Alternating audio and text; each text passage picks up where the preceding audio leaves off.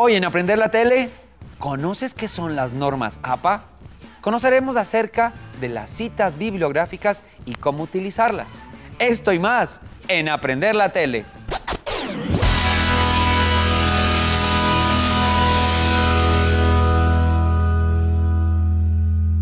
Aprender la tele. ¿Qué tal chicos y chicas? ¿Cómo están? ¿Todo bien en casa? Me alegro. Yo estoy muy contento de estar aquí. Porque cada vez que puedo compartir este espacio con ustedes, a mí me llena primero el corazón. Pero también me enriquece mucho porque aprendo muchas cosas, al igual que ustedes. Recuerden que todo el trabajo que está aquí inmerso, todo lo que está detrás de cámaras, todo lo que está aquí en el set y demás, está hecho con mucho cariño y está especialmente diseñado para octavo, noveno y décimo de básica. Así que si ustedes están en esa franja, este es el lugar correcto. Quería arrancar el programa del día de hoy contándoles, el otro día me llegó una noticia y me puse a investigar.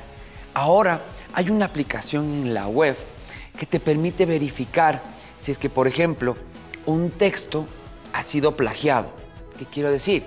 Que utilizaron un pedacito de un texto, una frase, y lo copiaron en un documento de manera textual. Esto te permite identificar si es que en efecto es un plagio o no. Y yo sé, chicos y chicas, que en, esta actualidad, cuando no tenemos que hacer algún deber, tendemos a copiar y pegar, ¿no? Quiero hacerles un llamado si es que nos vemos forzados, si es que tenemos que copiar textualmente lo que está en un libro, lo que encontramos en la web, eh, en algún folleto, en algún documento oficial o que tenga su autor, si lo vamos a utilizar, tenemos que nombrar quién lo hizo. Y de ese modo no violentamos los derechos del autor.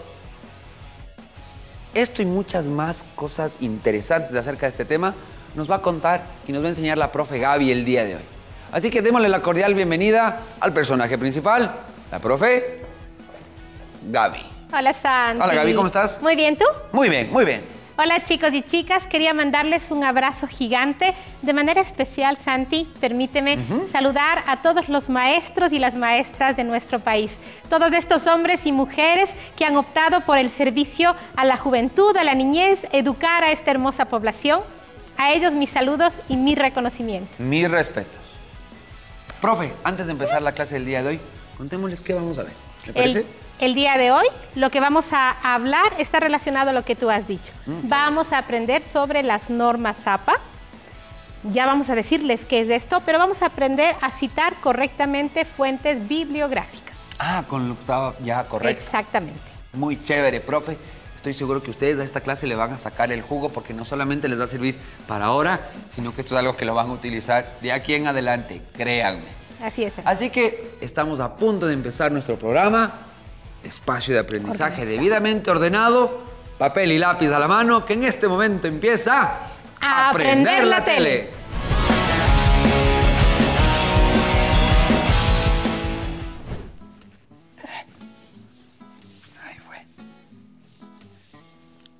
Ah, quedó chévere, ¿no? Quedó precioso, me gustó. Y se ve súper bien en el pizarrón. Esto les va a encantar, a la profe le va a encantar mi cuadro, definitivamente. Hola, chicos y chicas. Santi. Hola, profe. ¿Cómo estás? Muy bien. ¿Y esto? Es un cuadro que pinté. Ah, ¿tú pintaste? Sí. ¿Tú estás seguro que tú pintaste esto? Sí, sí, sí, yo, yo lo pinté. ¿Tú pintaste? Sí, sí. Chicos y chicas, ¿ustedes están seguros que Santi pintó esto? Sí, en serio, en serio. yo traigo los pinceles manchados. Pues tengo que decirte, Santi, y decirles, chicos y chicas, que este cuadro tan lindo que tenemos aquí tiene un autor que no se llama Santiago Zambrano. Oh. tiene otro nombre. Y este cuadro tiene también otro nombre. Este cuadro se llama El perfil maternal y lo pintó Eduardo Kickman. Mm, bueno, ahora que lo dice, profe, la verdad, ¿La verdad? es que lo vi el otro día en una revista y me encantó y dije, ¿por qué no? Y, lo intenté pintar, pero tiene toda la razón la profe, no es mío. Entonces, Santi, algo que no te puedes olvidar a partir de ahora, y ustedes chicos y chicas también en casa, es que cuando vemos una obra tan bonita como esta, tenemos que reconocer cuál es el autor, porque ese autor tiene derechos de propiedad sobre esta obra. No puedo yo decir, Mm. este cuadro lo pinté yo, por más que yo haya hecho una réplica del cuadro. Lo correcto sería decir, hice la réplica Del del, cuadro cuadro, de Kingman. de Kingman, que se llama El perfil maternal. ¿De acuerdo? Ok, ahí sí me quedó claro, profe. Muy bien. ¿Qué tal si le pedimos a Webster Santi que nos ayude Dígame. a definir qué es esto de los derechos de autor? Ok, yo se lo pregunto. Webster ñaño, ¿qué son los derechos de autor? De autor. Es el reconocimiento que otorga el Estado a todo creador de obras literarias y artísticas, en virtud del cual el autor goza de derechos de tipo personal, llamado derecho moral y económico, llamado derecho patrimonial. Uy, profe, entonces cuando dije que era mía estaba violentando Un los derechos. De una persona que es el creador de la obra, ¿verdad?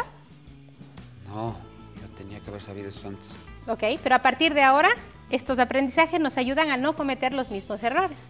Chicos y chicas, cuando usted mire una obra, que puede ser una pintura, una escultura, una obra literaria, información que encuentre en diferentes fuentes, usted tiene que recordar, esto lo creó alguien, por tanto es el autor de esto, y yo debo reconocer quién es el autor.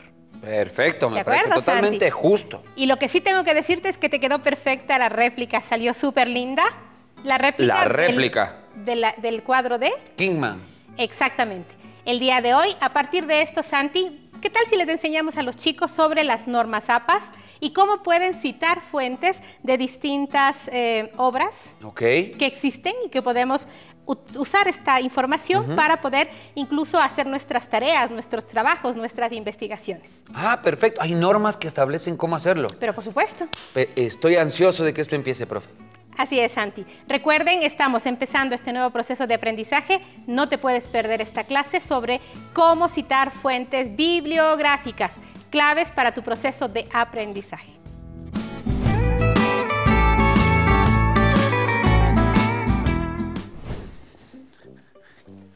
Qué interesante este libro, chicos y chicas. Se los recomiendo. Despuésito les digo el nombre. Pero regresando a lo que pasó antes, qué importante esto de saber reconocer los derechos de autor de una creación artística. Recuerden, chicos y chicas, que por ejemplo ustedes cuando tengan que hacer un deber o tengan que realizar una investigación, ustedes están en la obligación de citar a su autor. Porque de esa manera ustedes están respetando los derechos de esa persona. Imaginen el caso que ustedes, no sé, escriben un libro o escriben un reporte científico o un texto científico, como nos dijo la Gaby, que era de ustedes. Y mañana alguien más lo lee. Y ese alguien lo copia igualito y le pone su nombre. Y lo presenta como casi cometí el error yo antes, con el cuadro de Kingman. Ahí ustedes o esa persona estaría violentando sus derechos. Por eso es tan importante y es por eso que la profe Gaby hoy nos va a conversar acerca de, por ejemplo, las normas para citar una cita bibliográfica, para, no sé, que nuestros proyectos de investigación tengan la estructura adecuada y no estemos violentando los derechos de nadie, que eso es lo más importante. Yo estoy seguro que la profe tiene algunos conceptos claros que nos van a ayudar para que esto sea un poquito más fácil. ¿No es cierto, profe? Sí, Dígame Santi, que sí. Claro que sí, totalmente de acuerdo. Perfecto.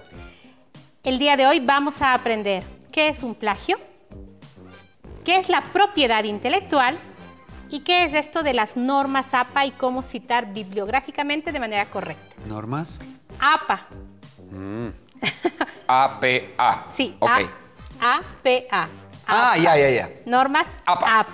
Pero ¿qué tal si le pedimos a Webster que por favor nos defina qué es un plagio? Tú ya lo dijiste, vamos a reafirmar la información que tú nos diste ya. Ya lo dije. Veamos qué nos Ya lo dice dijo. Webster. Webster Niaño, ¿qué es un plagio? Plagiar, copiar en lo sustancial obras ajenas, dándolas como propias. Ah, mire usted. Tal cual. Yo tenía ahí la definición, pero Y lo tenías bastante claro, Santi. Y ustedes, chicos y chicas, seguro que también tienen mucha información clara. ¿Por qué es importante que nosotros evitemos ser actores de plagio. Cuando tú estás estudiando algo y te mandan a hacer muchos trabajos, investigaciones y tienes que buscar información o el contenido que necesitas, tú podrías cometer pequeños o grandes errores, como por ejemplo atribuirte un concepto, una definición o un contenido que no es de tu autoría. O sea que yo, si es que usted no me avisaba, podía estar cometiendo un plagio. Por supuesto. Uy. Y entonces, ustedes que están ahora en, el nivel superior y que están aprendiendo, este momento es importante que usted se conecte con todos estos aprendizajes. No podemos hacer plagio para hacer nuestras tareas, por ejemplo. Correcto. ¿De acuerdo? ¿Qué tal si le preguntas ahora, Santi, qué es la propiedad intelectual? ¿A Webster? Sí, por favor. Ya. Webster, ayúdame, ¿qué es la propiedad intelectual? Propiedad intelectual. La propiedad intelectual se relaciona con las creaciones de la mente, inversiones, obras literarias y artísticas, así como símbolos, nombres e imágenes utilizados en el comercio. Muchas gracias, Webster. ¿Sí? Correcto. Nuestras creaciones. Todo, absolutamente todo. Y además ustedes, chicos y chicas, pueden empezar a generar y a crear increíbles cosas, obras de arte, descubrimientos, eh, contenidos. Canciones. Todo, absolutamente todo. Cuando tú descubres algo, cuando tú creas algo, tú tienes que ponerle tu huella personal. Totalmente de acuerdo. Han habido muchísimos casos, Santi, en el mundo en donde ha habido grandes pleitos y líos y confrontaciones porque dicen, no, yo creé esto, no, fui yo. Cuando usted crea algo y este algo que usted ha creado es un aporte a la humanidad, tiene que poner su derecho de autor y su propiedad intelectual. Eso es fundamental. Tienes que ser reconocido. Claro Oiga, profe, pero usted también nombró algo de las normas APA. Sí, señor, y es el siguiente punto de apoyo que le vamos a pedir a nuestro querido Webster. Ah, ok, a Webster. Sí, por favor. Webster, eh, las... Normas APA. ¿Me ayudas con la definición de las normas APA? Las normas APA son estándares creados por la American Psychological Association con el fin de unificar la forma de presentación de trabajos escritos a nivel internacional, diseñadas especialmente para proyectos de grado o cualquier tipo de documentos de investigación. Correcto, gracias Webster. Gracias Webster. Entonces, eh, esta asociación creó toda una propuesta de normativa para que tú puedas utilizar fuentes de diversos o distintos autores. ¿sí? Cuando usted está haciendo un trabajo en casa y, por ejemplo, tiene que investigar y encuentra el contenido que necesitaba para parafrasearlo, para citarlo, para inspirarse, usted tiene que aprender a citar de manera correcta. Y además, Santi, estas normas APA no solamente funcionan en Quito o en Guayaquil o en Machala, funcionan en todo el mundo. Ah, todo el mundo. En todo el mundo. Es como que todos tenemos unas mismas reglas de juego. Está estandarizado. Y estas es un tipo de normas APA. Les invito a investigar en casa. Hay otras normas también para citar fuentes súper interesantes. Estas son las más utilizadas en todo el tema académico, educativo, intelectual y esto nos va a ayudar muchísimo. Vamos con las normas APA. Listo, profe. Ya. Vamos a aprender a citar un libro y una web con normas APA, ¿de acuerdo? A ver. Muy bien, Santi. Entonces, es súper importante que tú tengas claro la estructura de cómo se cita. Primero vamos a colocar el nombre del autor. ¿Tú lo tienes en el libro? Sí, ¿En qué Luis García se llama. Ok, ¿y en qué parte está? ¿En la parte inicial? En este libro está en la página 2, en la parte inicial. izquierda. Perfecto. Colocamos luego el año de publicación. Esto es súper importante, Santi, el año de publicación. Aquí está. Sí. Después del año de publicación vamos a colocar el nombre del libro. Anímate a leer. ¿Sí? Después de que coloque usted el nombre del libro, va a colocar la ciudad y el país donde fue publicado el libro. Mm. Sí, correcto, Madrid, España. ¿De acuerdo? Ponemos dos puntos y ponemos el nombre de la editorial que publicó el libro. Edit Correcto. Están todos los datos aquí. Muy bien. Chicos y chicas, cuando ustedes van a citar un libro, recuerde esta estructura súper fácil. Para citar una web, Santi, la misma estructura con un añadidito. A ver. Muy bien. ¿Qué es lo primero, Santi? A ver, vamos a repetir, tú lo vas a decir. Mm, está apellido y nombre. Del autor. Del autor. Luego. Fecha de publicación debe ser. En este caso vamos a citar el artículo de un diario que está en la web Ah, ya, ok. ¿De acuerdo? Entonces vamos a poner aquí la fecha del artículo que está publicado en este diario. ¿Listo? ¿De acuerdo? Mira la diferencia. ¿Ok? Mm, ok, ya. Una fecha concreta. Luego de eso vamos a poner el título del artículo. Miles de personas en la plaza de El Cairo, ¿sí no? Sí, es el nombre del artículo. Hasta allí. ¿Ok? Luego de eso, ¿qué viene, Santi? El tiempo. El tiempo es el, el- el- el diario, ¿no es cierto? El diario en donde está este artículo. Perfecto. Ya. Y finalmente, cuando usted va a citar una fuente web o una webgrafía, debe poner la palabra recuperado del siguiente enlace electrónico. Entonces, ponemos recuperado y pones tú la dirección electrónica, que en este caso es, www.eltiempo.com. ¿ok? Y tenemos aquí la forma correcta de citar una fuente extraída de la web. Mm, qué interesante. ¿Y siempre tengo que hacer esto, profe? Y esta es la estructura. Siempre tienes que hacer. Puede ser que haya más de un autor, puede ser, ser un grupo de personas las que sean las autoras. Ok. Todos estos detalles se va perfeccionando en las normas de citación. Chévere, profe. Santi, para ir cerrando este aprendizaje que puede convertirse como en complicado a veces, ¿por qué es importante que los chicos tengan en cuenta esto en sus trabajos? Porque verán, cuando terminen, por ejemplo, el cole, después de la universidad van a tener que presentar trabajos un poquito más elaborados. Y si es que desde ahorita ya se van fortaleciendo, después va a ser mucho más sencillo. Practiquen las normas APA en casa.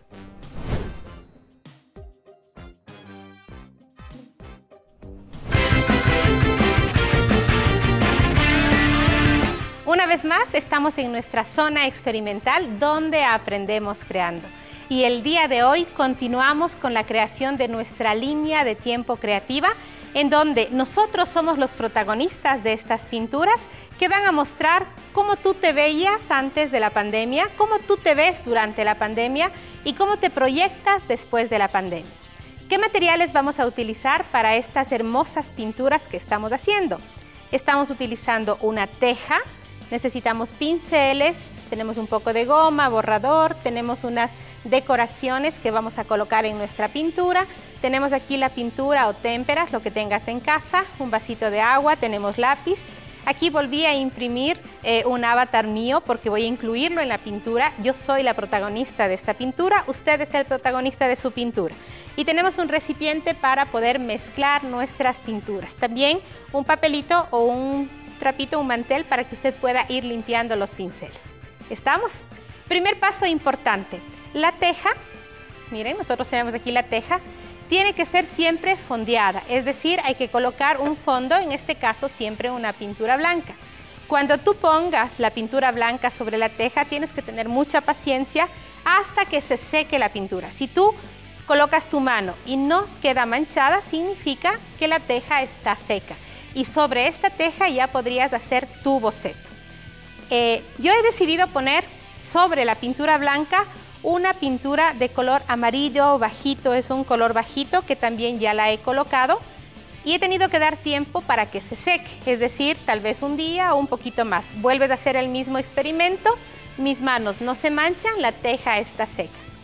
Una vez que nuestra teja esté totalmente seca, después que puse el fondo amarillo o el fondo que usted quiera poner, vamos a mirar cómo quedaría nuestro boceto. Yo ya lo hice inicialmente con lápiz. En un ratito más vamos a jugar con el tiempo, pero quiero recordarles que lo primero que hay que hacer es pintar la base, porque ya tenemos nuestra parte superior pintada, es el mismo color que pusimos. Vamos a pintar la base, pintaremos los tres maceteros y pintaremos la ventana. Jugamos ahora con el tiempo, anímese mucho, que le quede súper linda su pintura. ¿Cómo se mira usted hoy durante la pandemia? Empezamos a pintar.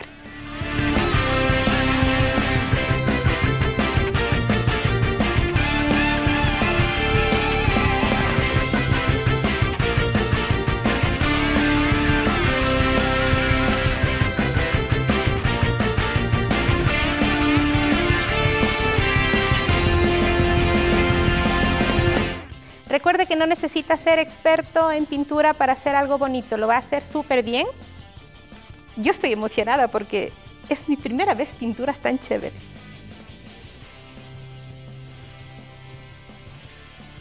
Vamos a seguir pintando. He pintado mis maceteros. Voy a ir ahora a pintar la ventana.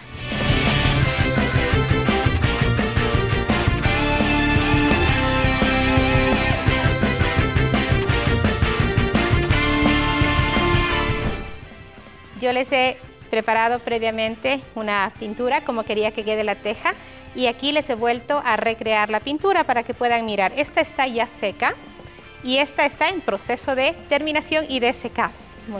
Quería mostrarles cómo voy a ubicar los objetos externos que voy a poner sobre la pintura. Entonces tengo aquí unas florcitas bien chéveres de mazapán. Usted puede conseguir las que tenga en casa, incluso podrían ser naturales que usted podría pegarlas. Entonces, coloco un poco de goma o de silicona y la coloco sobre la maceta porque quiero que se mire que la maceta está floreciente, así como están las flores de mi ventana.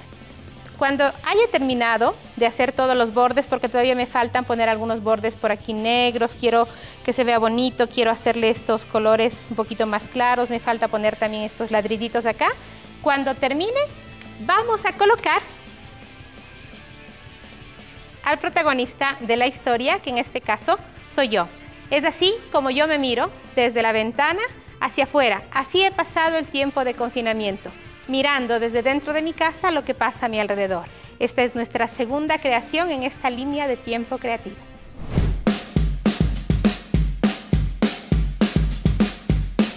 Bienvenidos y bienvenidas a las rutinas de pensamiento con la profe Gaby. Es súper importante recordar que las rutinas nos ayudan a extraer todo este conocimiento que cada uno de nosotros tenemos. Además, las rutinas te proponen, no te olvides, una propuesta y una estructura súper sencilla para poder desarrollar tu pensamiento.